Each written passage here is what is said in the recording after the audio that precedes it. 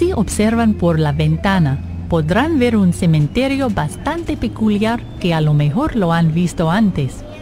Este es el cementerio bahameño de Coconut Grove, o también llamado en inglés Charlotte Jane Memorial Park. Levantado en 1906 por los primeros pobladores del Grove, este cementerio fue el primero en el sur de la Florida en utilizarse para enterrar a los inmigrantes bahameños. La técnica de entierro de los cuerpos es muy peculiar. Los féretros son colocados sobre la tierra ya que al ser una ciudad ubicada al nivel del mar tienen temor a que inundaciones o fuertes lluvias ocasionen que los ataúdes floten en el agua.